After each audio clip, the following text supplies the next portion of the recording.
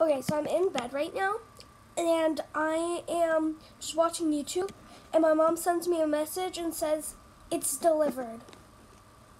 So it's a Saturday, and I'm just laying in bed, and I get, it's delivered. I have a feeling I know what it is, but I'm not 100%. I'm gonna grab my keys.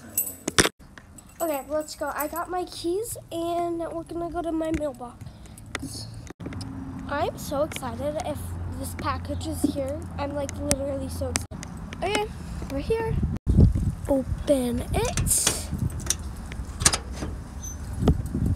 Y'all, there's a package, there's a package, there's a package.